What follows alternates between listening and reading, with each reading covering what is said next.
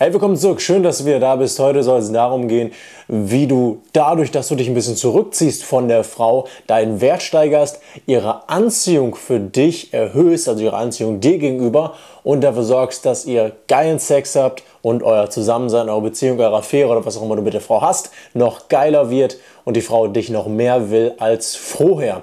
Also wichtiges Thema und Thema, mit dem ich oft äh, mit meinen Coaching-Teilnehmern spreche. Natürlich, jeder Mann will das, jeder Mann will guten Sex, jeder Mann will, dass die Frau ihm das Gefühl gibt, äh, er ist der King, das ist ja ganz normal, das ist ja ganz natürlich.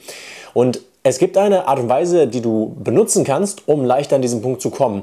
Was viele Männer falsch machen, ist, dass sie zu verfügbar sind, dass sie ständig da sind, die Frau ständig schreiben, ständig Date-Vorschläge machen oder, und das habe ich schon mal in einem Video erwähnt, am Ende von einem Date sagen, ja, dann dann machen wir unser nächstes Date, statt dieses Fragezeichen einfach stehen zu lassen, diese Ungewissheit so ein bisschen stehen zu lassen und die Frau sich fragen zu lassen, hey, werden wir noch mal ein Date haben? Wann werden wir das haben? Wie wird es mit diesem Mann weitergehen? Dazu muss ich sagen, dass all das, was ich jetzt sage, erst dann wirkt, wenn du auch die Frau tatsächlich triffst und wenn ihr schon ein bisschen Zeit verbracht habt. Also wenn die Frau gar nicht sich mit dir treffen will, dann kannst du natürlich nicht viel machen. Das, was ich dir gleich erzähle, wirkt halt dann, wenn du bereits dich mit einer Frau triffst, vielleicht mit einer Freundin in einer Beziehung bist und du merkst, so langsam geht es irgendwie bergab, bergab oder das Ganze macht nicht mehr so viel Spaß wie früher. Und da gibt es ja eine ganz einfache Methode, wie du das Ganze wieder auf ein geiles Level bringen kannst, wie du wieder die Anerkennung bekommen kannst, wie du den guten Sex wieder bekommen kannst und wie du wieder dafür sorgen kannst, dass du der King für die Frau oder die Frauen im Allgemeinen bist. Und zwar das Einfache, was du machen kannst, ist, dass du dich mal ein bisschen rar machst und dich mal ein bisschen zurückziehst. Ja, denn nur wenn Sachen selten sind, nehmen wir sie als wertvoll wahr. Nur Sachen, für die wir arbeiten, die sind für uns, haben einen gewissen Wert. Ja, das heißt, wenn du ständig verfügbar bist und die Frau weiß, ganz egal, was sie macht, sie hat dich sowieso an der sicheren Leine, sie weiß sowieso, dass sie dich hat, dann ist das sehr unattraktiv und dann verliert sie einfach ganz normal auf Dauer das Interesse. Das wäre andersrum genauso.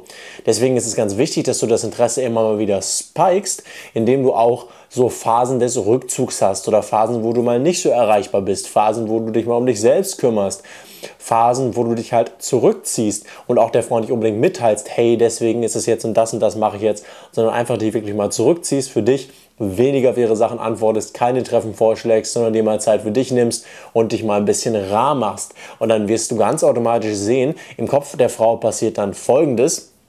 Sie sieht das und denkt sich, oh okay, ich könnte diesen Mann verlieren und er scheint sehr wertvoll zu sein, denn sonst wäre er nicht rar. Also wenn du dich, wenn du dich rar machst, wenn du dich zurückziehst, dann kreiert das Wert und dann denkt sie sich, oh okay, um diesen Mann zu halten, muss ich investieren, weil wenn du immer verfügbar bist, wenn sie weiß, sie kann anrufen und du bist immer da, wenn sie weiß, sie kann dich nach Sex fragen und du willst immer Sex mit ihr, das ist auch so eine Sache, aber da komme ich gleich zu, wenn sie das weiß, dann muss sie sich halt nicht besonders anstrengen. Sie muss halt nicht investieren in dich. Und das ist ja auch nichts Böses, was die Frau da macht, das ist ja ganz normal. Wir sind evolutionsbiologisch so programmiert, dass wir nur so viel in etwas investieren, wie wir rein investieren müssen, weil mehr zu investieren würde keinen Sinn machen. Wir brauchen unsere Ressourcen, also wollen wir sie nicht verschwenden, also machen wir nur so viel, wie es sein muss. Deswegen brauchst du diese Phasen der Rückkehr, des Rückzugs, des sich Rahmachens, damit die Frau mal wieder investieren kann und den Wert in dir sehen kann. Und das funktioniert eben beim Sex genauso, wie ich eben schon gesagt habe. Es macht Sinn, so komisch wie das klingt, es macht Sinn auch manchmal Nein zu der Frau zu sagen, wenn es um was Sexuelles geht, um ihr zu zeigen, Sex ist keine Selbstverständlichkeit. Du kannst nicht mit dem Finger schnippen und es gibt einfach Sex. Weil wenn die Frau denkt oder wenn die Frau davon ausgeht, sie ist einfach nur da und kann immer Sex haben, wann sie will, du bist immer geil, du bist immer bereit, sie kann, dann, dann kann sie Sex einfach benutzen als, als Mittel. Ja, und du musst ihr einfach zeigen, ab und zu mal, nein, ich werde nicht immer mit dir schlafen, nur weil du das gerade willst. Ja, dadurch nimmst du ein bisschen Macht auch zurück in deine Hand. Und das ist einfach ganz wichtig zu verstehen und das machen unglaublich viele Männer falsch. Viele Männer geben unglaublich viel Macht an die Frau ab vom ersten Moment an. Im Sinne von, sie sind immer verfügbar für die Frau. Sie rufen immer an, sie laufen der Frau hinterher. Also das sind ja sowieso die größten Probleme, mit denen die Männer zu mir kommen. Ähm, die meisten Männer, die zu mir kommen, sind einfach ja Frauen Speichellecker sozusagen, machen alles für die, tun alles für die und machen sich dadurch super, super uninteressant.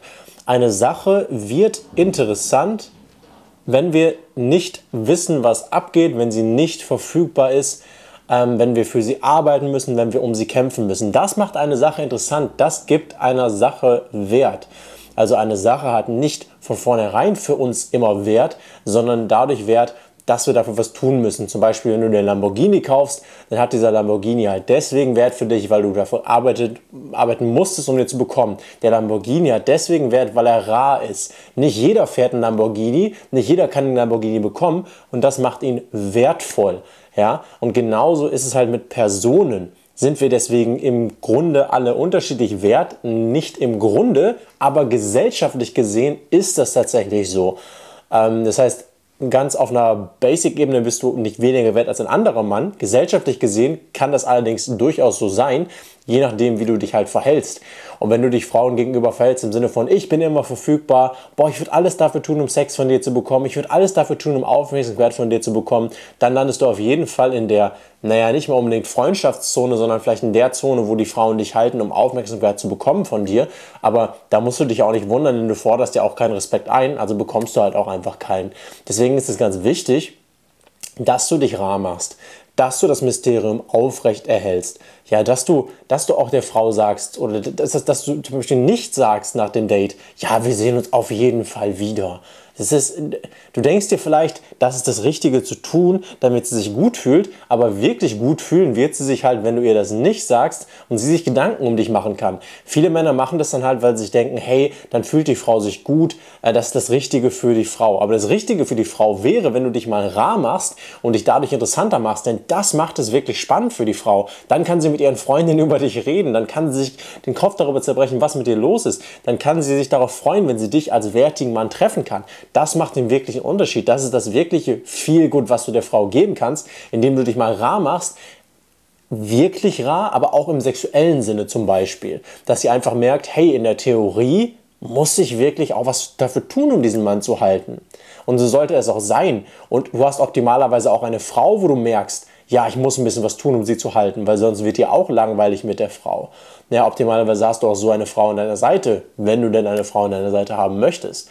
Und wenn du das schaffst, dieses Mysterium aufrechtzuerhalten, dieses Hey, du musst was dafür tun, aufrechtzuerhalten, dann wird dein Zusammensein mit einer Frau, egal ob Affäre oder Beziehung, immer frisch sein, dann wird das immer spannend sein, dann wird das niemals langweilig werden.